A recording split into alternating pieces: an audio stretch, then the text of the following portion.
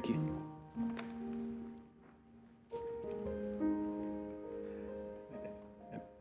And happy Sabbath, Sunnyvale. It feels like forever since we worshiped together. I think part of that is two weeks of camp meeting, and then last week being in the park. So it, feel, it feels like it's been a while since I've been in Sunnyvale, even though I know it's only been, I can't say only been, but only been three weeks. But it's definitely good to be back here today. Um, I hope you, I just hope you're having a good Sabbath so far, and that you are enjoying this service. As always, grateful for everyone who makes this service what it is, this church what it is, and uh, all the effort that's put into each service and to each ministry that we have going on. So I'm not going to call names, but to those in the, up in the, in the back, I want to say thank you to those who were greeting us earlier and ushering in God's presence, thank you. And of course, to our music ministry, thank you. Um, as always, I'll solicit your prayers. And so if you would pray for me and pray with me, I would be most appreciative. Now, Father, I stretch my hands to thee, and there's no other help I know. For if thou would draw thyself from me, Father, wherever would I go? You know what's on the agenda for today. And hopefully it's not my own agenda, but what you would have preached in this place. And so I'm asking God that you would connect my mind to heaven, that only what you have revealed would be shared. I'm asking that you'll connect my mind to my mouth so that my words will be clear. I'm asking that most of all, you connect me to you so that there'll be nothing disingenuous, no hidden agendas, nothing else, just you and your goodness. So, God, we thank you in advance for what you're going to do. We thank you for what you've already done. And we just look forward to seeing how you'll make this thing all come together. So hover over me, Holy Spirit, bathe my trembling heart and brow. Fill me with your holy presence. Come, will come and fill me now. Fill me now. Fill me now. Come, please come and fill each and every one of us now. We ask this in Christ's name. Amen. I received a text, um, actually a couple of texts after, in the afternoon, actually yesterday, I think regarding the sermon title. Um, straight out of context, it was, it was last week in the park that we were sitting afterwards, a couple of us, Pastor Rob, myself, Will, Carla, and, and this was after everything I kind of wrapped up, and we were going over some of our music choices, some things that we enjoyed. And I found out that Will Jimenez doesn't only know the hymns of the church, that Will has, that his music repertoire is, is pretty, pretty, uh, is pretty wide. And we, we both have a love for 90s music, I would say. And so when we were talking this week about the sermon, uh, about, about the graphic and whatnot, I get a text last night saying, This is your slide. And so um, the one that he sent, and so now some people are saying, I don't, I don't understand it, I don't get it. Some people are like, okay, straight out of context. Um, and so, just for the record, Pastor Rob was completely on board with this. He was like, he was like, no, Mark, that's the slide, that's the slide. Will was like, that's not the slide. Like, no, I'm gonna send the real one in a little bit. And so, but, but yeah, straight out of context. Um, let's see what we have right here. The verse says in 1 Peter chapter 3, verses 1 through 9. And just bear with me, please, okay? We're going somewhere today. Wives, in the same way, accept the authority of your husbands. The NASB says be submissive. I already see a look like, what? Uh, the ESV says be subject, so that even if some of them do not obey the word, they may be won over without a word by their wives' conduct. When they see the purity and reverence of your lives, do not adorn yourself, do not adorn yourselves outwardly by braiding your hair and by wearing gold ornaments or fine clothing Rather, let your adornment be the inner self with the lasting beauty of a gentle and quiet spirit, which is very precious in God's sight. It was long ago It was in this way long ago that the holy women who hoped in God used to adorn themselves by accepting the authority of their husbands. Thus, Sarah obeyed Abraham and called him Lord. You have become her daughters as long as you do what is good and never let fears alarm you. Husbands, in the same way, show consideration for your wives in your life together, paying honor to the woman as the weaker sex, since they, are, since they too are heirs of the gracious gift of life, so that nothing may hinder your prayers. Finally, all of you have unity of spirit, sympathy, love for one another, a tender heart, and a humble mind. Do not repay evil for evil or abuse for abuse, but on the contrary, repay with a blessing. It is for this that you were called, that you might inherit a blessing. May the Lord add a rich blessing to the reading, hearing. And don't, yeah, I mean, honestly, I couldn't even get through it without. I, I saw one person kind of with the, the look on the side of the face. Uh, and even I was stumbling over it, like, oh goodness, this is kind of rough on the ears. Um, problematic texts in the Bible, things that kind of hit our ears the wrong way. I remember this, so you know that this is chapter three. We're actually technically now in chapter four. It was a couple of weeks ago that this text came up next in our series, and Pastor Rob was like, "That's not your sermon. Like, no, don't, don't, don't preach that." Um, there he, he was like uh, yeah like there's there's nothing to even go with this like we can just go to the next section um,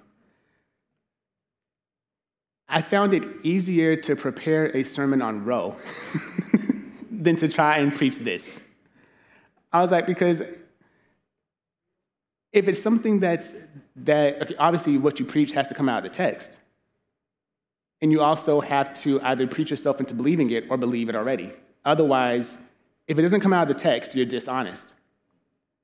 And if you preach something that you are not yet ready to accept, then you're disingenuous. And neither one of those is acceptable. Even this week, when we circle back around to it, somebody was like, You don't believe that. Why are you preaching this?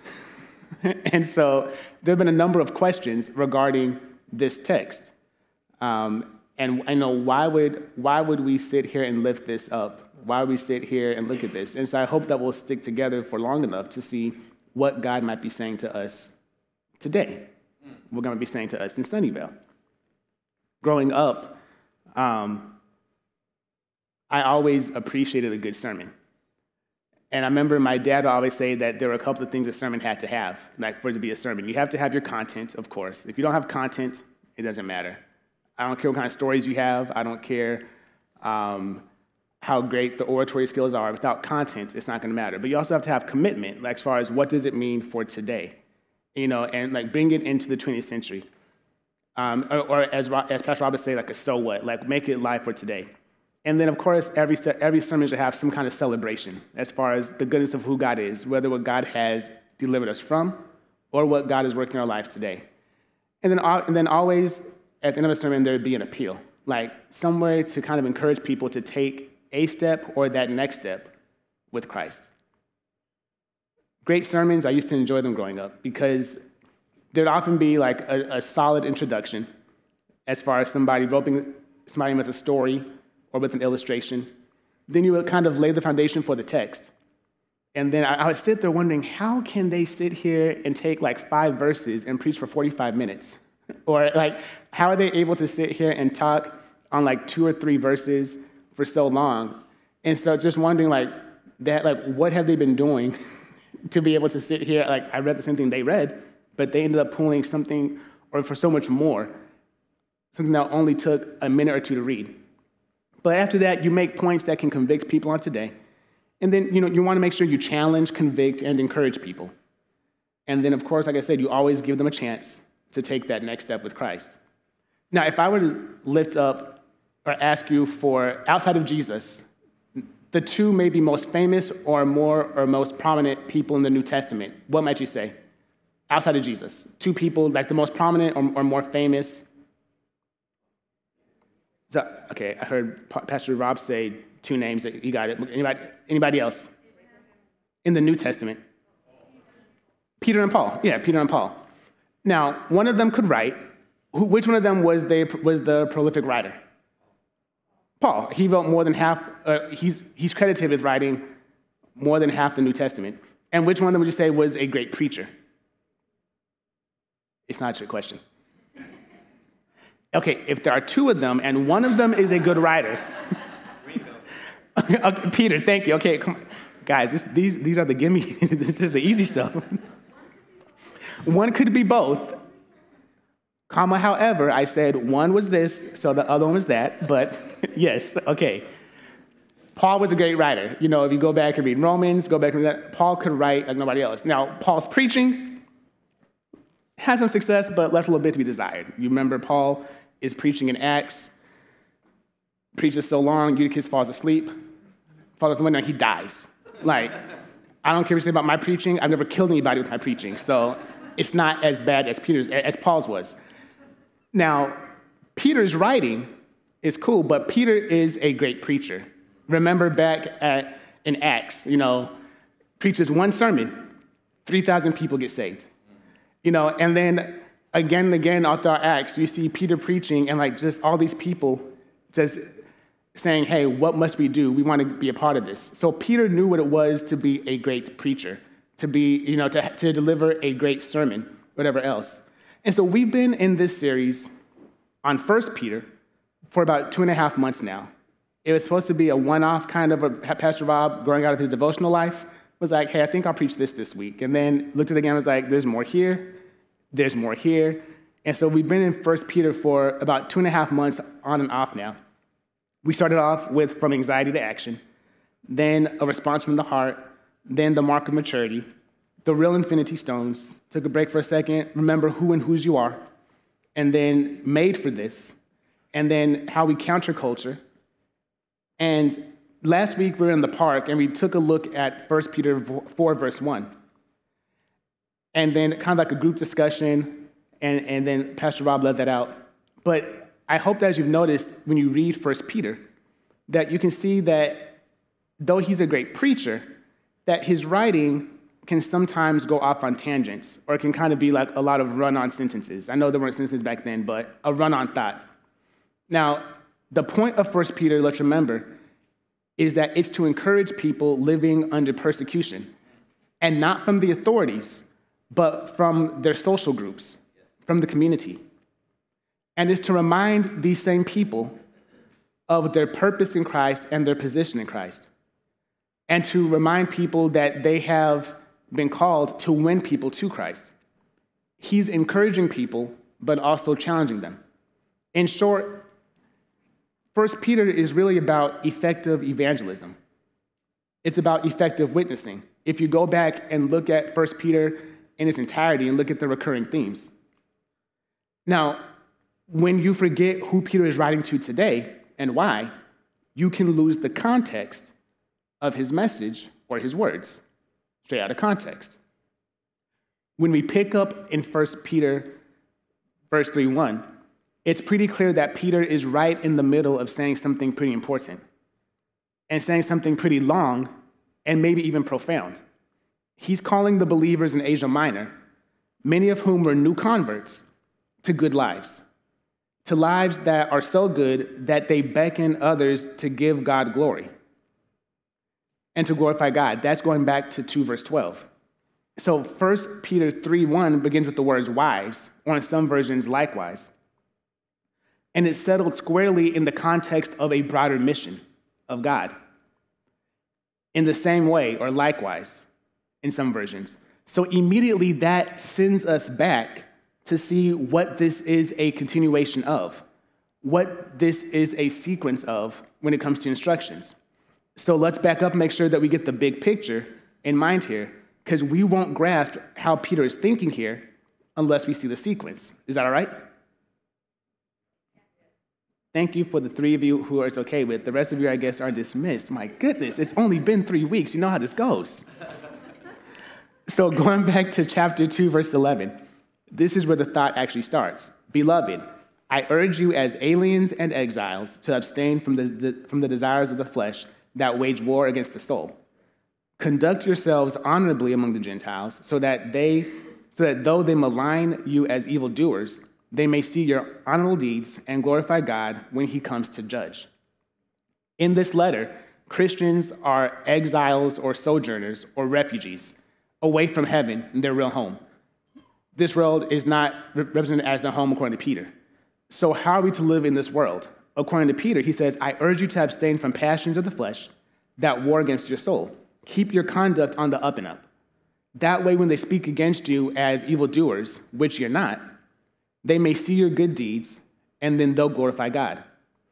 So, the goal of this very extended exhortation, and Peter already has five different things that he tells us to do in chapters one and the first part of chapter two, I think up to 2 verse 3, is that we might turn slander into God glorifying affirmation. He wants us to help move people from unfairly maligning individuals to them now becoming converts. And so Peter basically says that if we're going to effectively evangelize under these conditions, we're going to have to do a couple of things. And he says, first, if we're going to effectively evangelize, we're going to have to lessen. Can somebody say lessen? Lessen, the tension with those around us, lessen the unnecessary tension, lessen the unnecessary tension.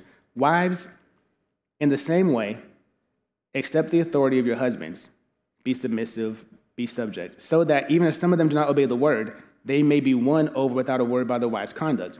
When they see the purity and reverence of your lives, do not adorn yourselves outwardly by braiding your hair and by wearing gold ornaments or fine clothing. Rather, let your adornment be the inner self with the lasting beauty of a gentle and quiet spirit, which is very precious in God's sight. It was in this way long ago that the holy women who hoped in God used to adorn themselves by accepting the authority of their husbands. Thus, Sarah obeyed Abraham and called him Lord. You have become her daughters as long as you do what is good and never let fears alarm you. The conduct that's being emphasized here is a way of winning a husband. May he be won without a word by conduct. The emphasis is not on submission. Look at the broad context. May he be won by word without your conduct. This is an instance of a general principle for all of us laid down for those believers back in the beginning of the section in 211. I urge you all, as aliens and exiles, keep your conduct honorable. Right now, the church is in a posture of self defense. Peter's like, look, we're the new kids on the block, and we actually have the smallest crew of people. So we can't afford to be alienating people or bringing unwarranted attention in these conditions. Remember the, the whole point of 1 Peter to encourage people and also to challenge them based off of their current setting. So Peter's like, look, your husband may start out asking you or attacking you, saying how ridiculous it is that you've joined this group of Christians. And they may see this conduct as disrespectful. But when they see your respectful conduct in the same way and they see your good deeds, this husband would be so moved by what he sees that the person who is calling you an evildoer is now worshiping God. And the reason that all this matters, or needs to be pointed out, is that this is a specific example of a general statement for everybody. Are you with me? He's using simply an example of this person, but he's still talking to everyone. When I'm reading this as a man, unmarried, I'm learning right here from what she's being told. When the word is she's to hope in God in verse 5, and that somehow she becomes fearless in verse 6, I then make the connection between hoping in God and not fearing for anything. That's not just for wives, right? That's not just for women. So I say that's what I want. Mark Howard, male, unmarried. I want to learn from a woman or a wife who is hoping in God and being fearless. Specific example, but not a, but not, but it's not limited only to that particular uh, person, individual, or, or demographic. And people say it's legitimate to draw principles from is it, le- is it legitimate to draw principles from a paragraph speaking to women? My answer is yes, because the effort is, eh, or the emphasis is placed on winning the husband by her conduct. And that goes all the way back to chapter 2. Keep your conduct among the Gentiles honorable, so that when they malign you as evildoers, they may see your good deeds and glorify God when he comes to judge. So that's my rationale for why I, Mark Howard, a man, unmarried, can learn from these from this example of instructions to wives. They're not just for her. They are just applied to her in that very specific context, or that, in, in that, in that very specific example. I remember I got a phone call saying, Are you here? Now, just by the fact that you're asking me, Am I here? I'm probably not. But the, the person on the other line says, You know, where are you? I'm like, I'm in the other office. Okay, well, I have somebody I want you to meet. This, this seems weird. Okay. She's absolutely gorgeous. You'll love her. And you guys have a lot in common. See, I, I, this is more than 10 years ago. I see you already leaning in. No, it's more, it's nice try. so, more than, yeah, absolutely more than 10 years ago. So, I'm like, I don't really do blind, actually, I don't do blind dates, so I'm good. No, no, just, just take a meeting. All right, fine, sure, whatever. So she's like, she, she gave me her number, start texting. Okay. And so at that point, we set up a time for a meeting to grab some food. And so it's going well. Like, hey, she leads out at her church in a Bible study for women. I have a youth Bible study at my church. We're hitting it off. It's a good conversation. And then uh, at one point, I'm like, oh, hey, I mean, what are you guys studying in your Bible study? I would love to join. She's like, no, that will never happen. Okay, then. Well, I mean, well, I'm like, my bad. Uh, she's like, yeah, that, that's not allowed. I'm like, okay, gotcha. I'm like, oh, I guess because I'm not a member of your church, or, and she's like, well, yeah, but no, but I mean, you're also not a member of the group. And I was like, oh, yeah, I guess I can see how that would upset the dynamic of a small group. If somebody from the outside, she's like, well, no, you're a man, and, and, and I wouldn't teach a man. Really? And why not? And from there, it just goes off the rails in a good way. And so at that point, we're going back and forth as she's pulling up different texts as to, um, you know, no man should be under the authority, I mean, of, of a woman. And she's saying stuff like, uh, you know, uh, you know that, that women can teach women and children, but not men. And my eyes are getting bigger. And so we're just going back and forth. And so she's saying that she wouldn't be able to teach me or that I, I couldn't join her group uh, because you know that would then go against what the Bible says. And I'm like, I'm not your husband. Like, you know, because she, she's saying, wives, be submissive to your husbands. That this, she actually lists up this text. I'm like, I'm not your husband. She's like, and you never will be with your, with your thinking. and so it wasn't that funny. Stop. What about the second date? No, there was, there was a second meeting. Yeah, we, I, I don't do blind dates. No, we, we met a couple of times. Like, it was, we, we, we actually became very good friends. We both knew it would never, ever go any further than friendship because it's like, no, like we have two very different ways of looking at this. Why did I lift this story up? Because her emphasis was so much on, look, the Bible says, the Bible says, you know, wives submit to your husbands. Blah, I don't say blah, blah, blah, but she's talking about the Bible says, but um, what I know now that I didn't know then is that the focus on this passage has historically been overshadowed there's an evangelical focus on this passage. I didn't know that at the time. We were looking at what First Peter is actually about, but it's been overshadowed by a perceived biblical endorsement of marital hierarchy, the subordination of wives to husbands. And this is, I can now say boldly, a ridiculous assertion given that Peter is not in this chapter or in this particular portion addressing all Christians, or, he's, he is all Christian wives but he's talking to those who are unequally yoked, only lifting them up as an example. In addition, it has to be noted that that word, in the, the Greek word, um, I just went blank, hupatasso, that the word that we translate as submit or authority, it has two meanings. It has a military usage where it says, you know, set under or organized under like a military commander or a military leader. But the other one is non military usage. It's a word that conveys a voluntary posture of cooperation or of assuming responsibility or carrying a burden for another. So Peter's advice should be understood within the same framework as a counsel to slaves and the counsel to, to other people. In both cases, he commends submission, as we say, but really he's saying working together or cooperating. But in neither instance does he actually endorse the patriarchal institution that enforces submission. Are you still with me? Okay, we should not underestimate the counterculturalism and the counterculture implications of this passage from 1 Peter. Even though it's, it, it wears on the ears very terribly, when you actually look at what he's saying, it's like, wait, that's not what he's saying at all. While the author advises Christian women to behave honorably among unbelievers so as not to stir up unnecessary conflict or trouble, he holds firm that, the, that this Christian wife has the right to her own Christian faith, whether the husband believes or not.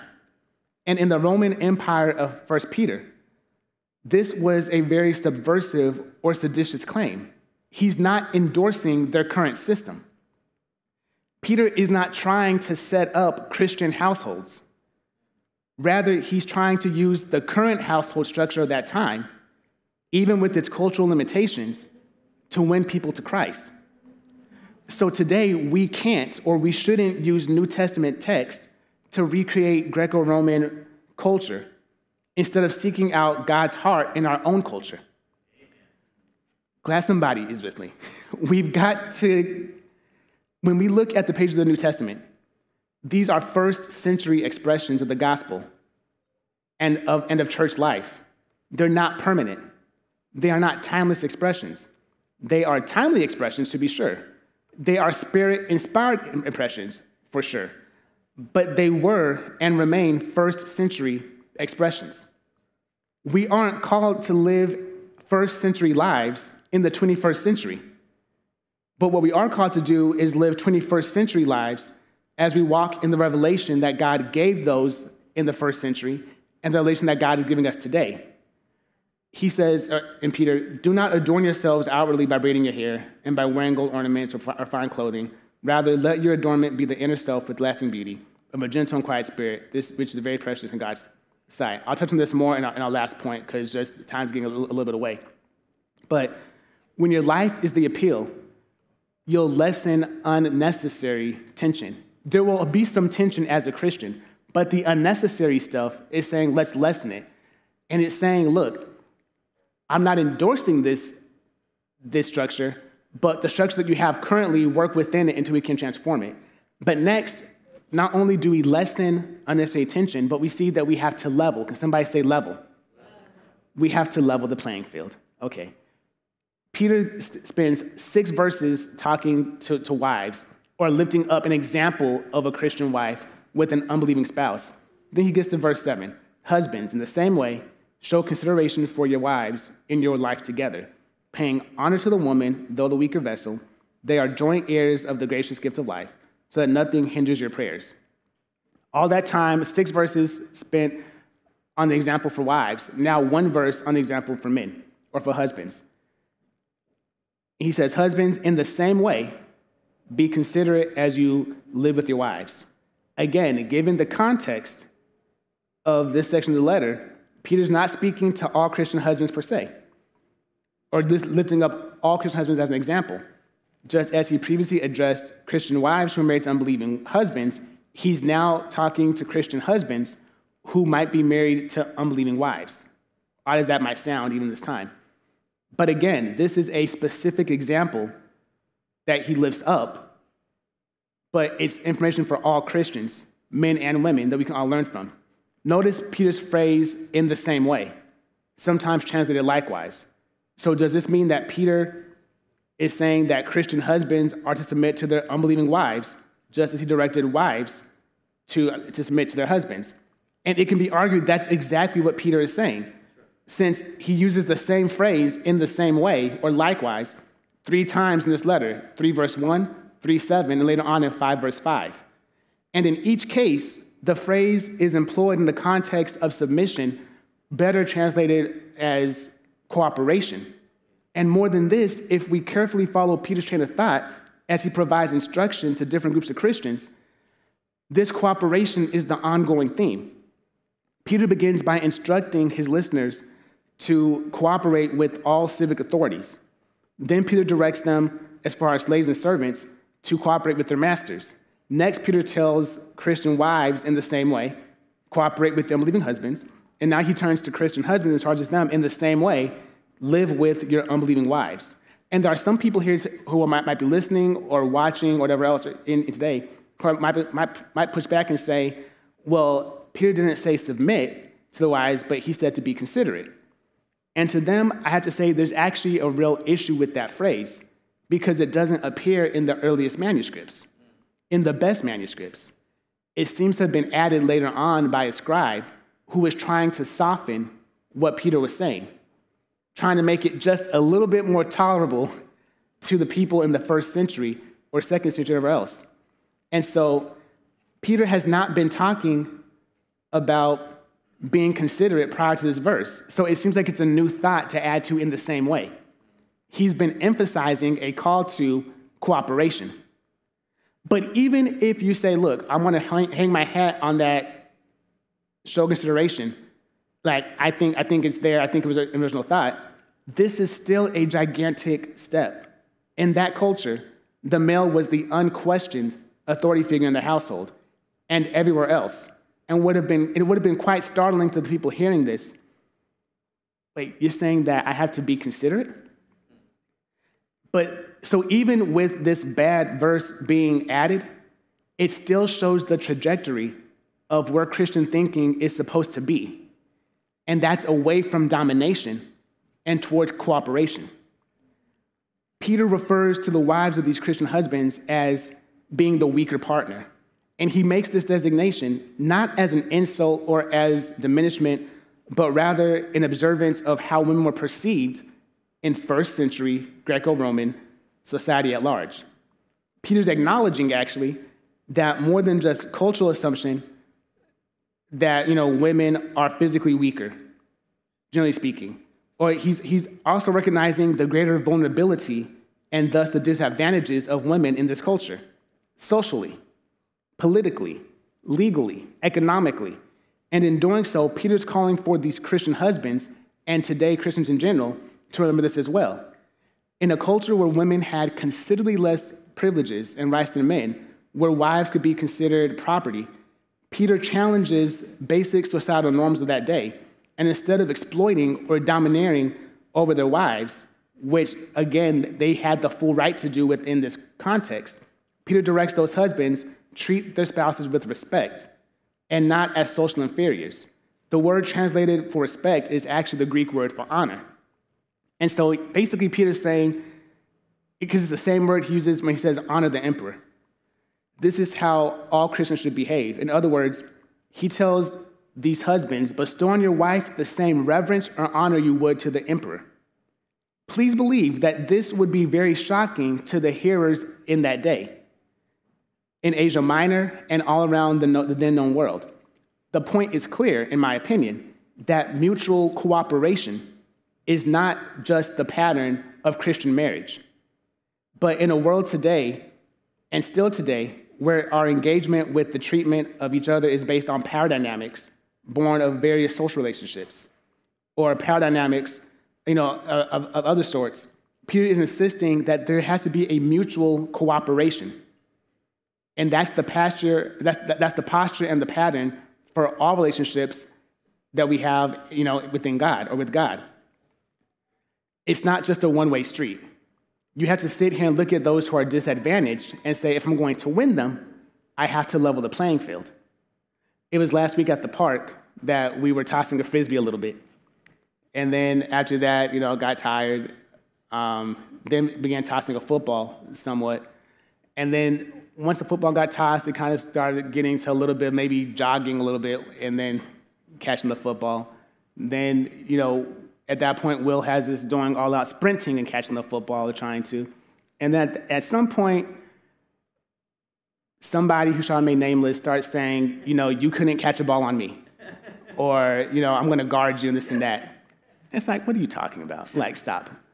And so he says, no, no, no, like, like, like let's line up against each other. So I'm like, guy, you're like 65 years older than me. Like, like this isn't, I didn't come out here to hurt the pastor in the park. Like, this is not, so you've got Will with the ball. You've got Jeremiah on one side, no on one side. You've got Pastor Rob lining up opposite me.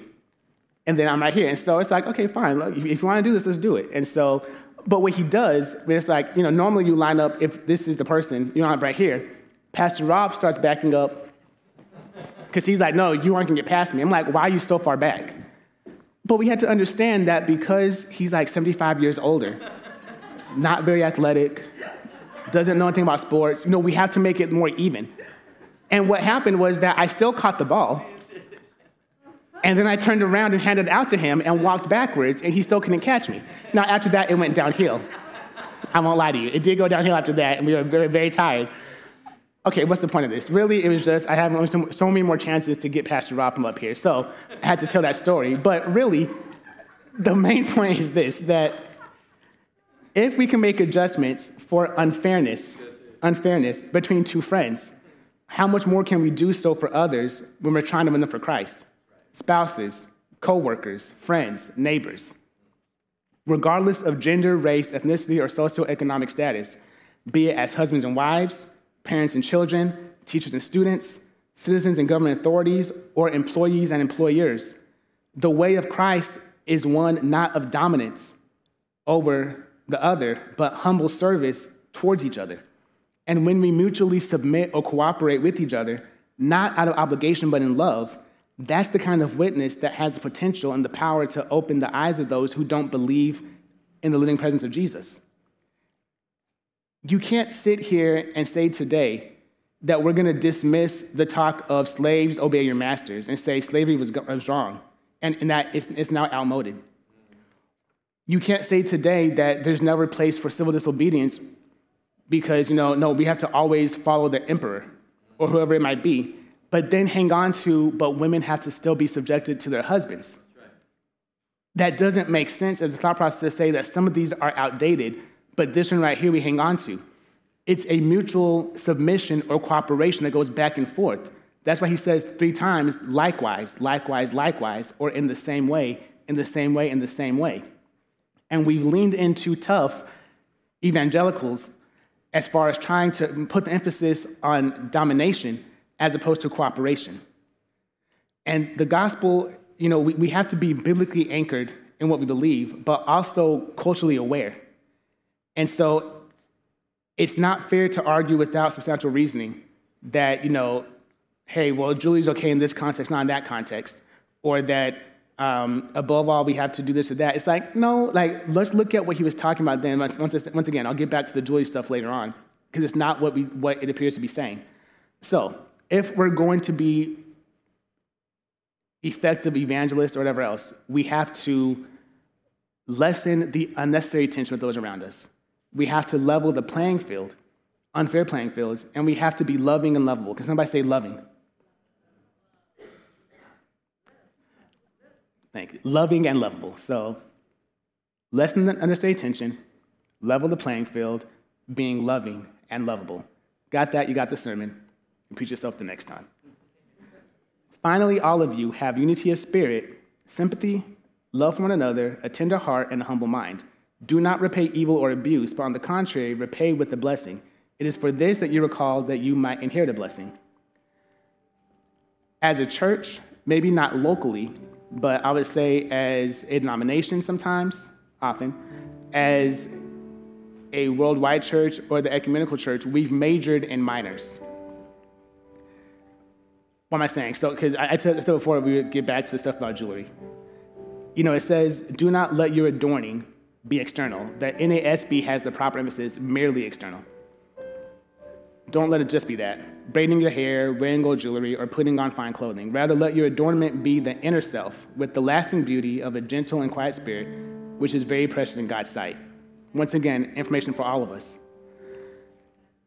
The badge of Christianity isn't some outward sign.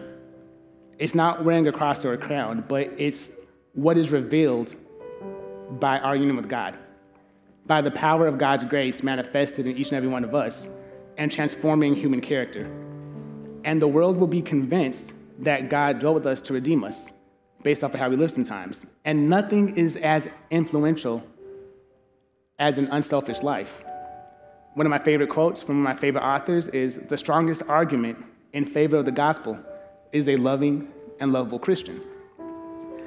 I, remember making the comment some time before that was taken kind of out of context that it's hard for me to enjoy a sermon or listening to a sermon.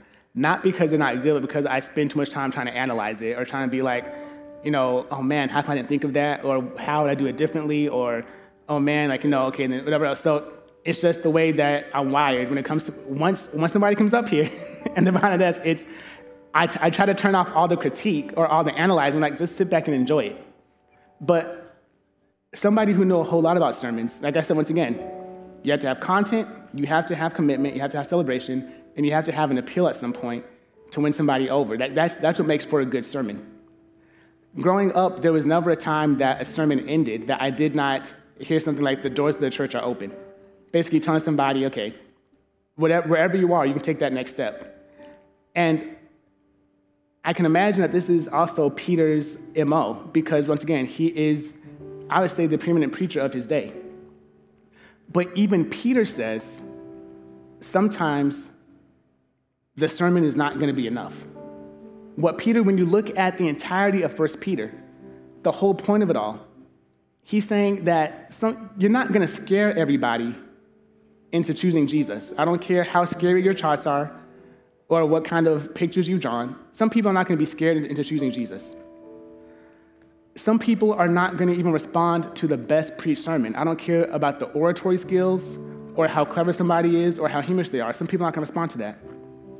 Some people are never, especially in the Bay Area, going to accept your handout, your GLOW tract, or your desire of ages, or whatever other literature you have. Some people, that's just never going to do it for them. Some people, even if it's the best of music, they're just not going to be responding.